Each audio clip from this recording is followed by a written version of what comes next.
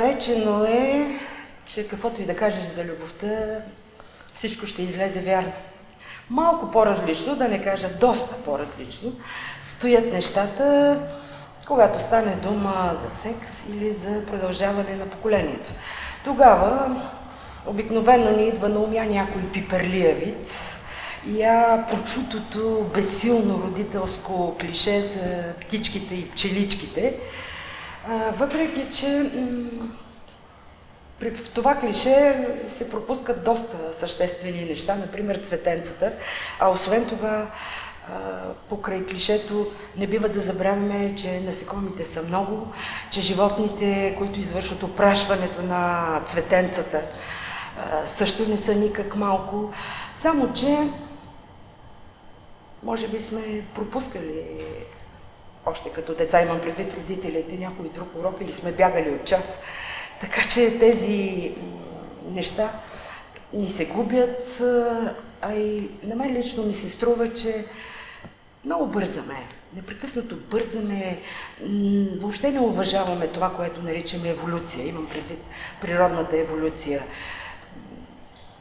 Ценим повече революциите, в това число и сексуалната, въпреки че тя може да е започнала на някоя задна седалка и да завърши, не дай Боже, с някой вирус или с изчезването на пчеличките, както смятат някои.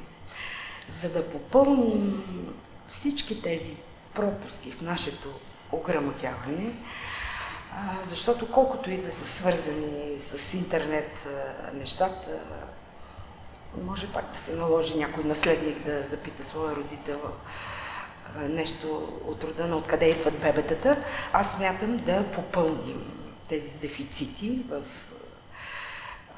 нашата грамотност. Затова днес гостувам в Националния природонаучен музей Камбан в компанията на двама зоолози и не е случайно специалисти в областта на ентомологията, науката за насекомите. Това са доцент доктор Николай Симов и доцент доктор Марио Лангуров. Как се изработвала смяната, имам предвид като еволюционно предимство преди всичко, на самоопрашването по посока кръстосаното опрашване.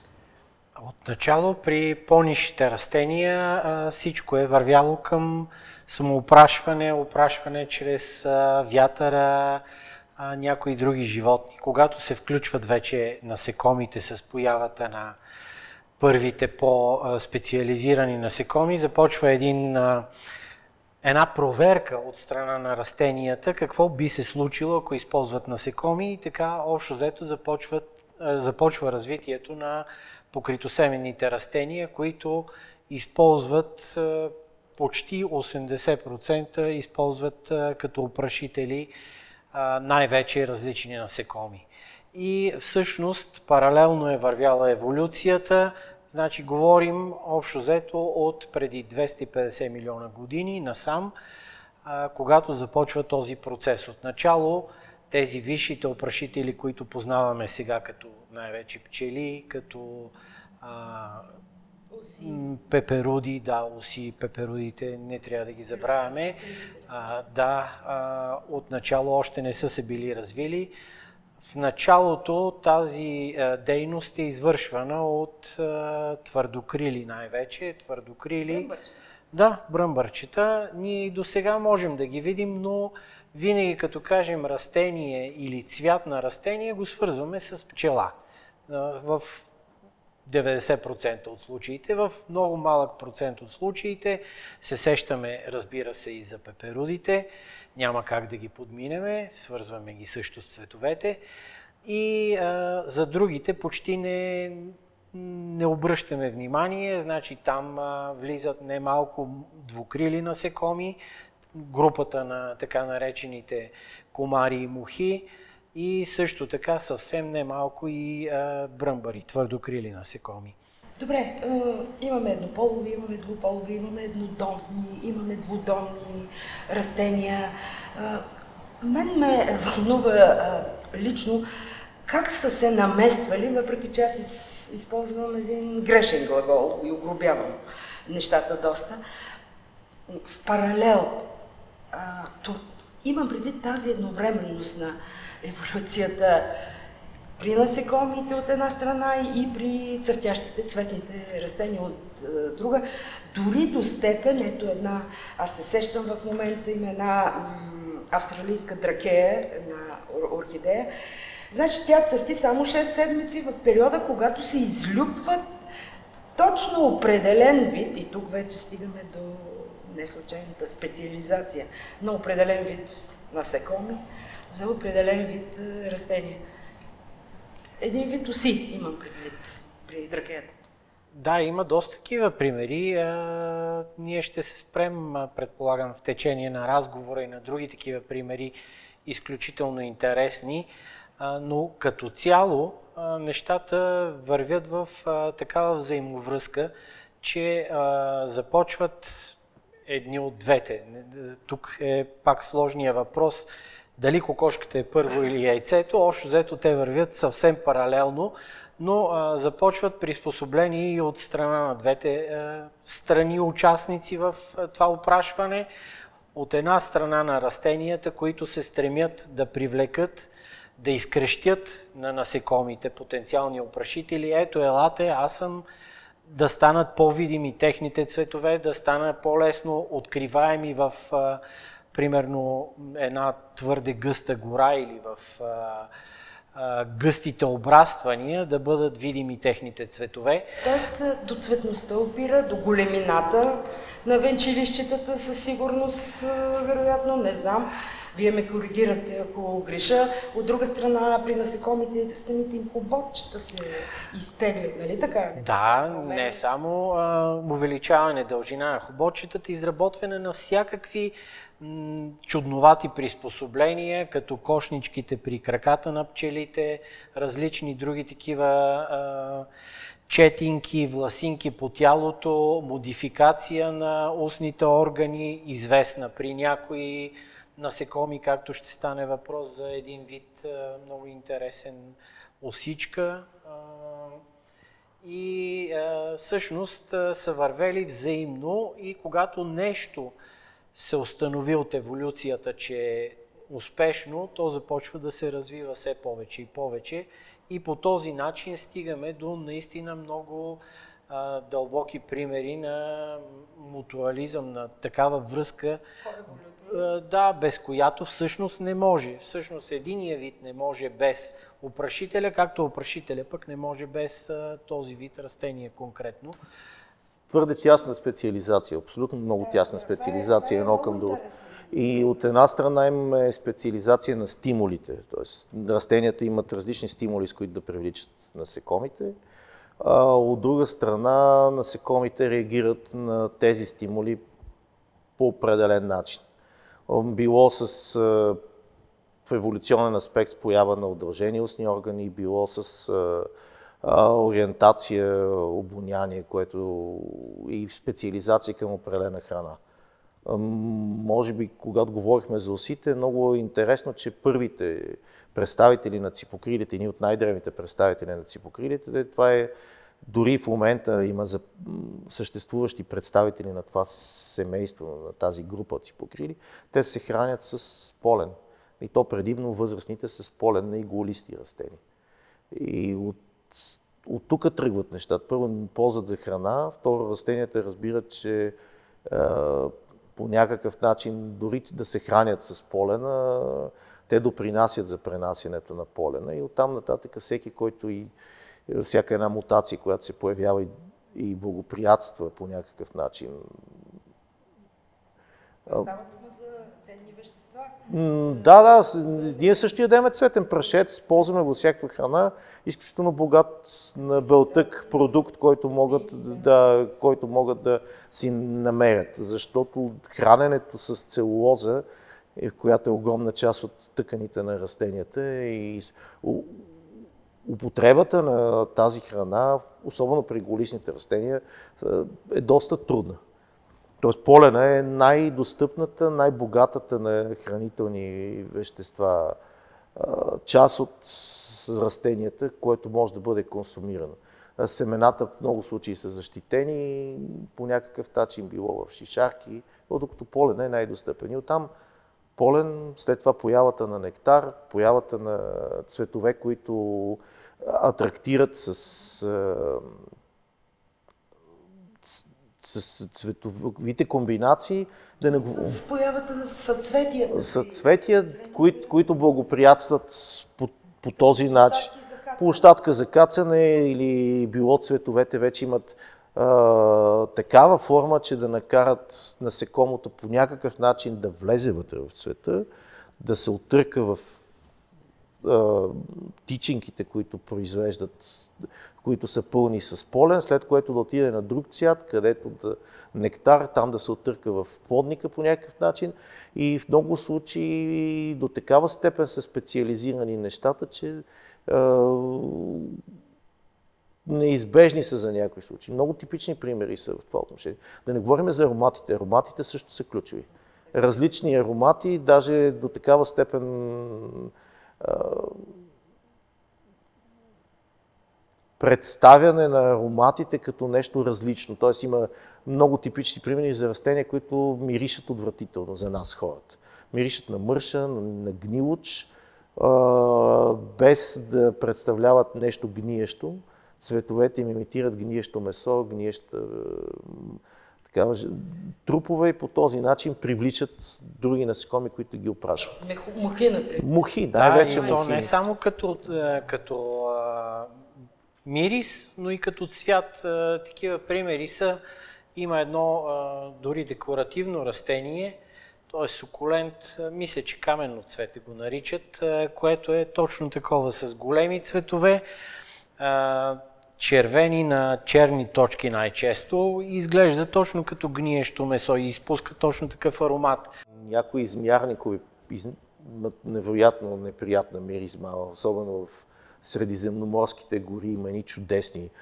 Има дори една трупна лилия наричат, не случайно. Да, да, да. И да. тези змярникови имат лилаво синкав цвят, точно на старо месо и стоят цветовете, разлагащо се месо и миришат отвратително. Просто влизайки в гората на 10 метра от растението, човек разбира. Не е она... Да, да, да. Името на възраждането на живота и сексуалната игра. Е... И, някой от вас спомена, че природата все пак доста е тествала, доста е пробвала и като един алхимик по метода на проби и грешки не са една и две жертвите. Тук в човешкия свят аз се сещам да кажем за един Шекспир, 17 годишен и 13 годишна, три дена връзка и 6 трупа. А в природата нещата са стояли далеч по-сложно, меко се изразява. Типичен пример в момента е една...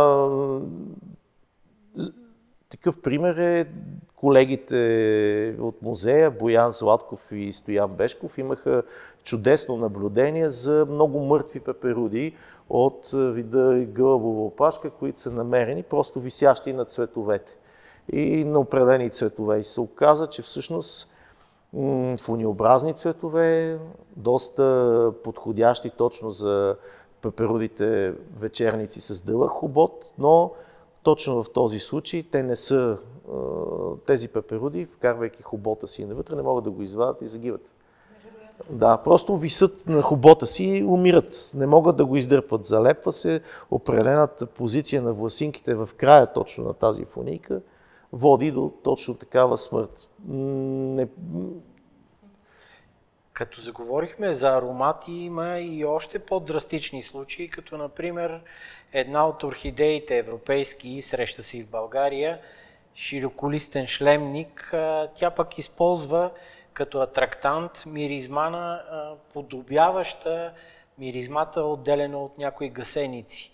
Защото всъщност нейната цел са едни хищни оси, които всъщност именно тяхната жертва са гасениците, за да ги привлече, изпуска такава миризма, те се привличат към цветовете и докато търсят тази гасеница несъществуваща, всъщност успяват да опрашат орхидеята. Така че м- примери безброй, много изключително причудливи от тях.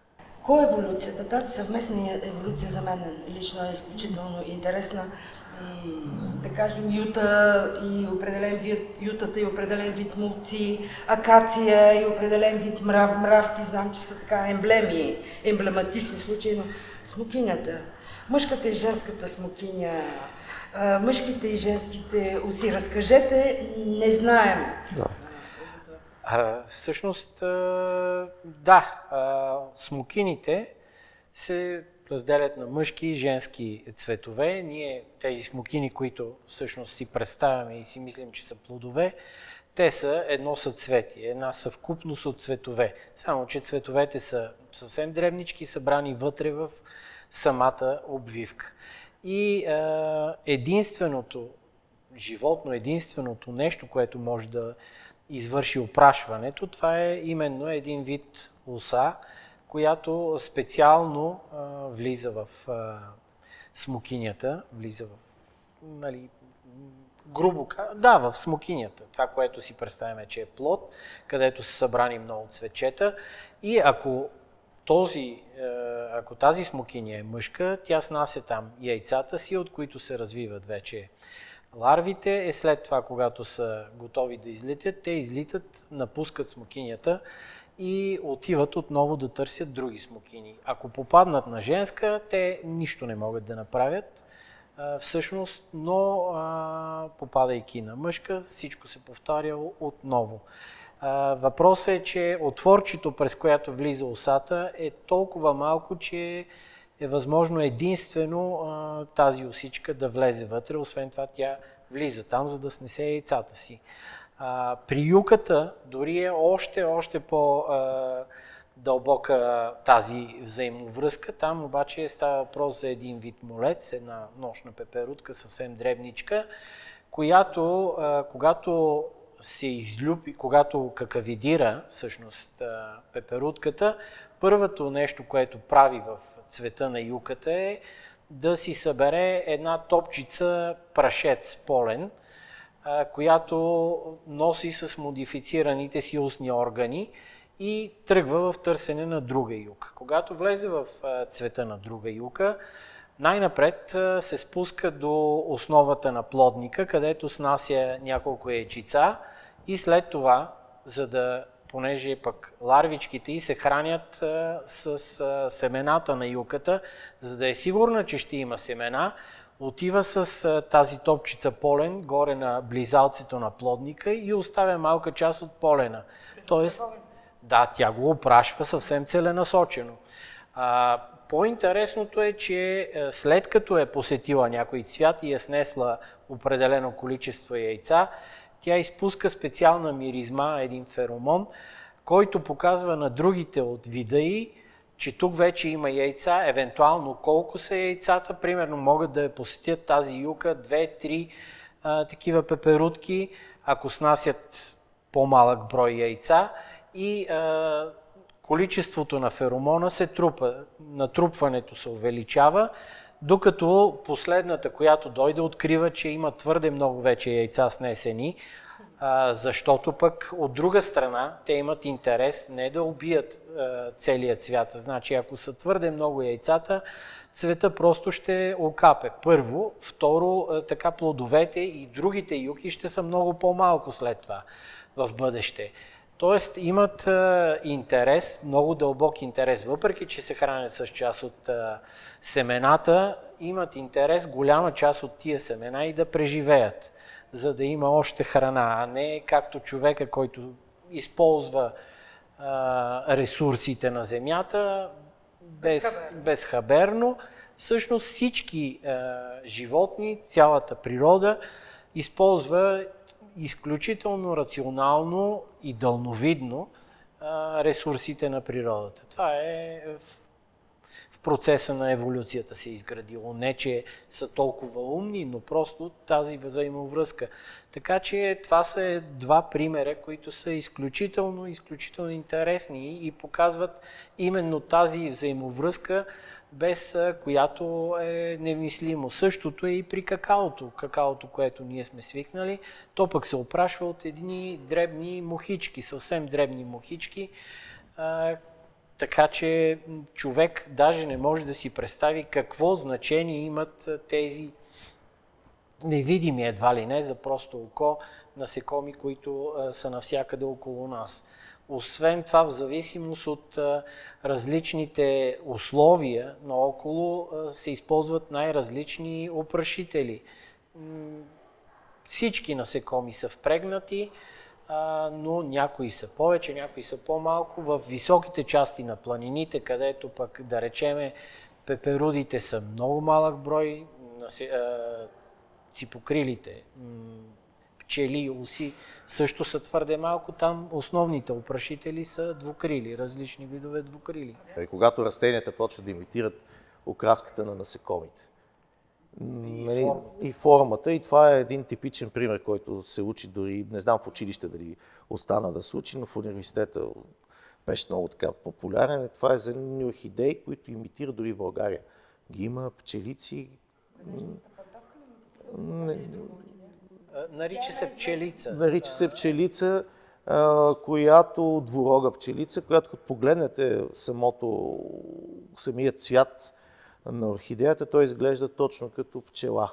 И всъщност имитира пчела женска, по този начин идват мъжките, кацат в опит да правят любов с нея. В този случай става въпрос за мимикрия, каца мъжката пчела в опита да прави реално секс с, с, с, с женска. И, в- и в този... Не, не, не, нищо не сме казали. В този случай, в този случай това е начина да се извърши опрашването, който е свръхспециализиран. Просто растенията са намерили, за да могат да, да има връзка, да има между тях, са вкарали трети във връзката. Тоест, тотален любовен триъгълник. Даже не само третия, всъщност е едно, може да е множество, може да е само един вид. При растенията и насекомите нещата са много, много вързани и сложни. Както коментирахме, растенията изцяло се стремат да избягат от външния контакт, т.е. половите клетки да имат някакъв външен контакт с а, външната среда. Началото е било водата, където те се движили във водата, както и при мъховете, както и при папратите. Нужна е вода, но излизането на нещо толкова нежно във външната среда винаги носи риск. До степен, че те в стремежа си да го избегнат, стигат до едно, до такива крайности, че да, цветния прашец да е едно от най-устойчивите неща, което може да намерите в природата. Тоест той е от такъв тип а, вещества, обвивката на всяко поленово зрънце е направена, че тя може да оцелее милиони години в седиментите. И вие милиони години. Милиони години. И ето казвам го начина по, по който се извлича. Технологията на извличане от скали на полен включва поставянето на скалния материал. Било глина и било скала седиментна. Поставянето в тип в киселина, която разгражда, която разтваря стъклото. И слагаме го в продукт, който разтваря стъклото, който разтваря скалата, но полена остава толкова устойчив. И този свръхустойчив полен трябва да прелети, да запази а, мъжките полови клетки, те да попаднат върху женския цвят, след което да, си, да той да проникне и по, да, за да могат съвсем защитени тези свръхнежни клетки да преминат. Е, още по-голямата интересност на еволюцията е, че тук вкараме не само случайността, вятъра или гравитацията да пренесат този полен, вкараме и нещо друго, което със сигурност да знаем, че го пренася. И от тук вече идват нещата, ако това нещо се храни с полен, колко ни е изгодно да загубиме ние някаква енергия да вкараме за производство на повече полен, да рискуваме някой от цветовете да бъде увреден. Както в много случаи бръмбарите, свикнали сме да ги наричаме бронзовки или златки, зелено отцветените от род цетония или и потозия, които, или техните родственици, които ядат най-често по цветовете на бъс или много други цветове, може да ги видим, които се ровят и ядат полен. Много често те унищожават част от цветовете, но разнасянето на полена, свързано с това нещо, води до много-много нови е, успешни, успешни семена образувани вследствие на това. Тоест цената, могат да платят цената. Ултравиолетовата визия за мен е изключително интересна и ценна. А за нея знаем твърде малко. Имам предвид как виждат насекомите УВ и какво. Не всички насекоми използват УВ спектъра, разбира се, но голяма част от специализираните опрашители, най-вече редица ципокрили и разбира се пеперуди, използват УВ, УВ светлината, УВ спектъра всъщност и действително цветовете изглеждат, а и въобще нещата през погледа на УВ гледача изглеждат по съвсем различен начин. Общо взето, това, което се стремят цветовете да подчертаят при УВ светлината е да насочат насекомото, както лампите по самолетните писти насочват самолетите, така и те да водят насекомото идеално към центъра на цвета, там където ще намери е, всъщност нектара евентуално и най-вече полена и близалцето, е, за да извърши опрашването. Така че всичко е концентрирано към центъра на цвета в общи линии. Дори някои цветове, които, изглеждат, които не изглеждат нещо особено на дневна светлина, под УВ светлина изглеждат много-много по-различни и всъщност те атрактират много силно, привличат насекомите, които виждат в този спектър на светлината. Определено не всички обаче цветове имат. Нали, някои имат визуална по-лесно да бъдат видяни. От друга страна, при някои основно е нектара, миризмата на нектара, къде се намира и колкото повече да ги да, да атрактира, колкото, колкото по-далече да атрактира а, насекомите. И понеже си говорихме пак за специализация, то примера на Дарвин, който винаги е учебник карски. Да, пример за това, че колкото повече котки, толкова повече имат добив на люцерна. да, да, винаги е... е не, не, изглежда страшно, да. Да, далеч назад, като се върнем, Дарвин забелязва този факт и разбира се, разбира защо се случва това нещо? Защото просто семената, люцерната, цветовете на люцерната не могат да бъдат опрашвани от всички видове пчели. Те, поради тази, те се опрашват само от земни пчели, чието хубот може да достигне навътре в цвета. И от друга страна, гнездата на земните пчели са предпочитани за нападения от страна на мишки, които пък обичат да похапват не само не само треви и семена, а не бих се отказали от богата на протеини храна, каквито са ларвите на земните пчели или на, на цветния прашет с тях. И, и поради тази причина голямото количество мишки, малко количество земни пчели нисък добив на семена. И обратното, повече котки, по-малко мишки, по-голям добив на семена. Всичко е свързано. Не, и така че погледнато по различен начин може да е в а, а, науката разделя цветовете на растенията на ентомофилни, които се опрашват от а, насекоми и тези, които се опрашват от, по други начини, най-често от вятъра. Много лесно се вижда разликата. Цветове, с, които имат ярки венчелищчета, цветове с нектар, с аромат, те на 100% са ентомофилни. В много случаи, каквито са част от сеникоцветните, виждате един невзрачен, сравнително невзрачен от наша гледна точка цвят, който е или много цветове, които обаче, когато се приближите, виждате, че те са свръхбогати на нектар и върху тях винаги има насекоми, най-различни насекоми, които пълзат отгоре върху съцветието, успяват да намерят този нектар и да го, да го ползват. И тук, понеже говорихме за пчели, то много интересно беше направо като куриоз. Всички знаеме за пчелите, за пчелите колко са важни за, като опрашители, ако проблема с пражния пчелен кошер колко е сериозен в момента, особено за места, където опрашителите са ограничени от човешка дейност, както е в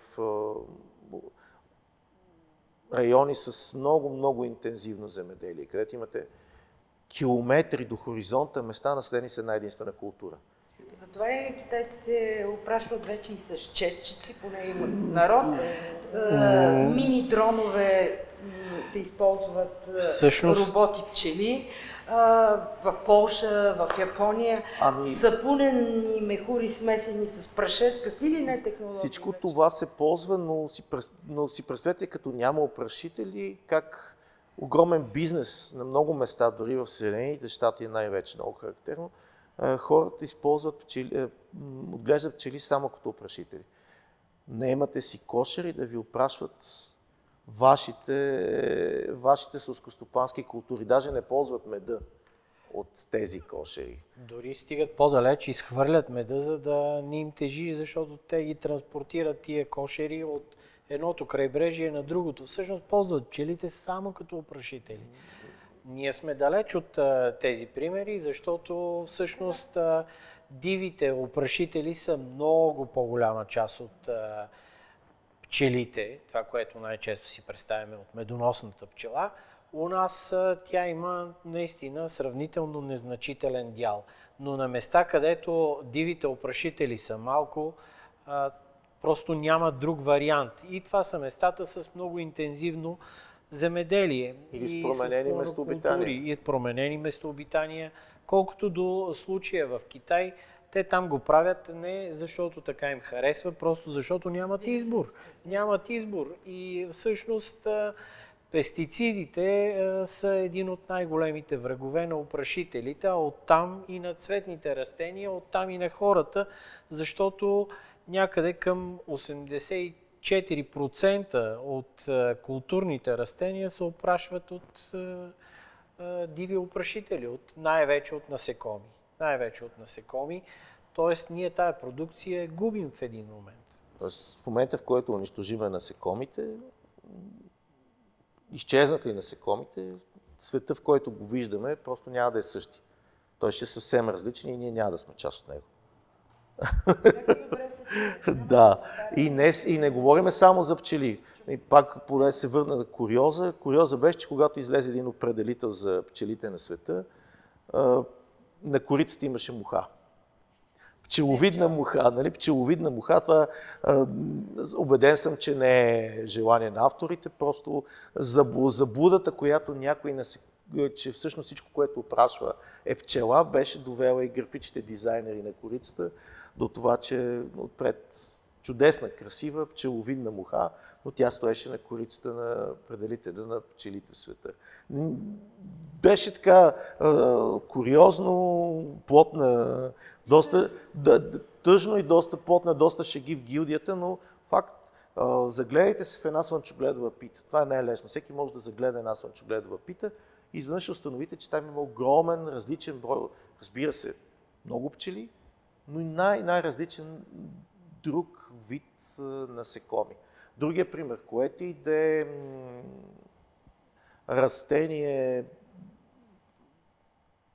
сеникоцветно, копър, анасон, било високо в планината цъфтящи сеникоцвет. Да, див дивисил особено. Погледнете на него и ще видите какво има отгоре. огромно количество най-различни видове насекоми. При всички положения ми се иска да кажете няколко думи около посумите, които играят роля на опрашители, около прилепите. Колибрито, разбира се, сред птиците, тази най-мъничка птичка. Заговорихме за колибрито, много често получаваме снимки в музея. от хора, които казват, видях колибри. Те обикновено в България много често бъркат пеперодите вечерници поради много бързи им полет, големите очи на пеперодите вечерници и, и посещението на фуниевидни цветове. И стоящ полет с фуниевидни цветове, нещо голямо, несъразмерно голямо като за представа за ВПВ, дори по-малките. И казват, видяхме колибри, ето даже снимка. Много често се, се оказват пепероди вечерници. Но колибрите, цялата група, всъщност са, един, са нектароядни. Те нямат друг начин да се изхранват, освен с нектар от цветовете. И по този начин са едни от основните опрашители в тропическите гори. А, те, техните родственици, нектарниците, като птици и, и разбира се, от тук нататък и голямо количество бозайници. Uh, голям... Колибритата, те висят буквално в въздуха, някакви... Да. Пак ще стигнем до секса, няма начин. Е, даже Вацая на създателя на Кама Сутра ще завиди на тези пози, като ги наблюдавах. То виси във въздуха, нали? То не каца самото колибри. Да, не, въпрос не на бързина на крилата, но и въпрос на, от друга страна, на, на достатъчно количество енергия, което си набавят от нектара. Тоест, тук специализация да произведеме толкова хранителен нектар, че да преди извикаме появата на все повече и повече опрашители, които гарантират пренасенето на цветния прашец. И ако говорим за нектар от цветовете, не знам, може би амброзията има такова, такъв происход. Затова говорим, да. Може би оттам нещата са тръгнали за, за тези работи. И ако говорим за странни опрашители, аз лично не си представях, че охлювите могат да бъдат опрашители. Преди да разговаряме с нашия приятел и колега Ивайло Дедов, но се оказа, че дори част от охлювите могат по някакъв начин, колкото и да изглеждат лигави и неприятни на пръв поглед, за самите растения и много и хранещи се с тях да бъдат животни, които пренасят цветен прашец, но се оказа, че за, на места, където много особено в дъждовни сезони, когато е много влажно и когато а, насекомите не биха могли да летят в такива условия, охлювите също играят роля. Е, получава се така, че в опрашването на определени растения се, има две групи животни. От една страна пчели, в топло и слънчево време, при влажно време, когато е възпрепятстван полета на пчелите, се включват охлюви които залепени за черупката си пренасят цветния прашец, но това е сравнително рядко. Не, че го няма, но е сравнително рядко. Все пак го има, но има и бозайници наистина, които споменахме. Опосумите. Опосумите, да, Какво те имат дълъг лепкав език. Да. те... те също, този език доста динамично се вади общо взето три пъти в секунда, нещо такова, като порядък беше. Да, по принцип това е така. Никой обаче не може да се мери с колибритата и нектарниците, защото там става въпрос за активен полет. Друго е просто да езика да си вадиш по-често. Те повечето посуми всъщност не са и от най-бързите животните, няма за къде да бържат.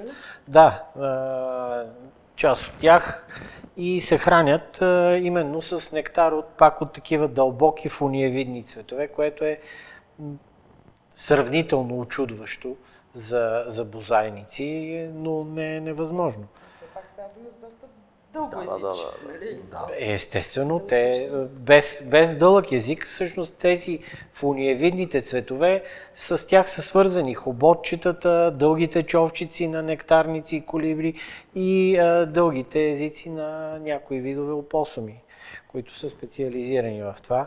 Има също така, като говорим за бозайниците, има а, редица видове прилепи, да. които също с това се занимават. Може би тук е, то най-типичният пример, прослутия пример, който е с а, прилепите, които опрашват агавето, от което се добива текила.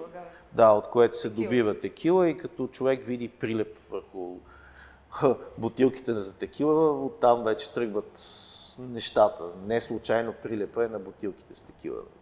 Защото всъщност без прилепите не биха съществували, не би съществувал синето агаве, а оттам и самата напитка, която се добива от него. Ви благодаря, за мен беше удоволствие.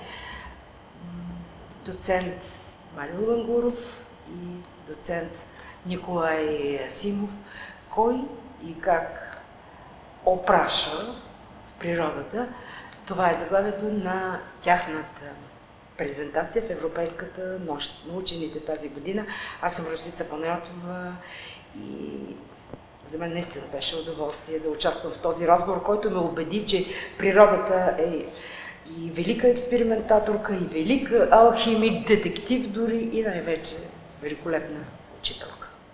Много ви благодарим. Благодарим и ние. Надяваме се, че сме дали началото на серия от въпроси от тук нататък, защото и ние, работейки, изследвайки всеки един такъв проблем, всеки ден си задаваме нови, нови, нови, нови въпроси. И то това е интересното на нашата работа. И разбира се, който има въпроси, може да се обърне към нас или към колегите от Природно-научния музей. Винаги сме отворени към а... любознателни, любознателни хора, разбира се, с удоволствие.